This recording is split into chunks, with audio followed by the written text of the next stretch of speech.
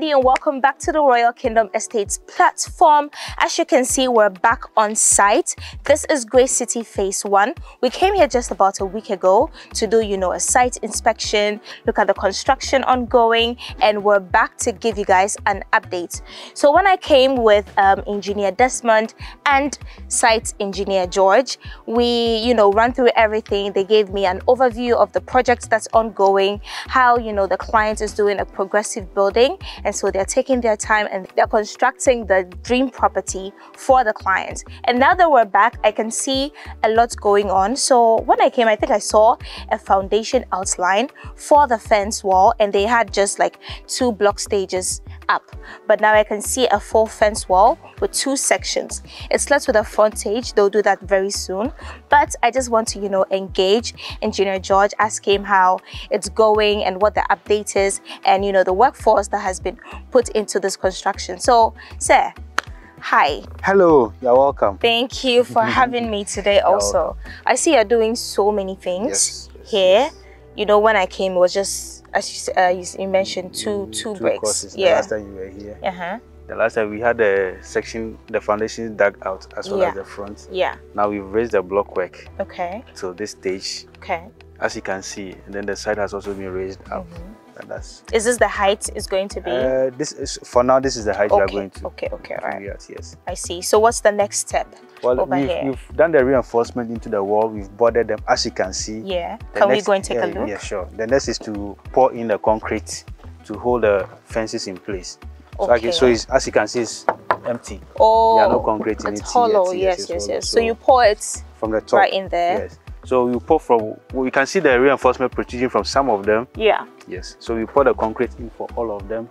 And then we okay wait so for it every to dry. side that i see this the there concrete, concrete will go over there. inside That is what binds the walls together. Okay. Yes.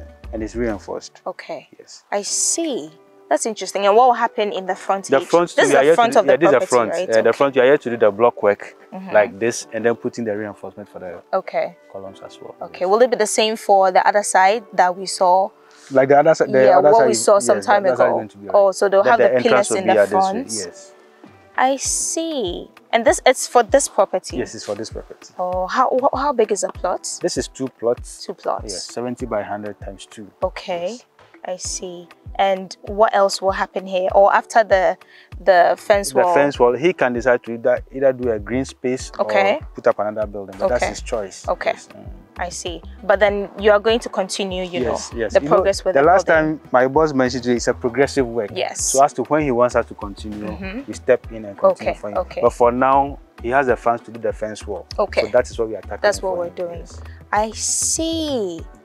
I like how the place is expanding you and much. every day there's something, you know, Thank ongoing. much. And I like the Thank fact that RK is uh, able to help clients to, you know, build their dream homes. This is really, really nice. I enjoy what's happening. I learned the guys are doing their thing at the the back other side, also. yes. What are they doing? The the same block fence wall? well, Okay. So it's going around the entire. Yes, that's a perimeter, wall all around it. Yes. Oh, I see.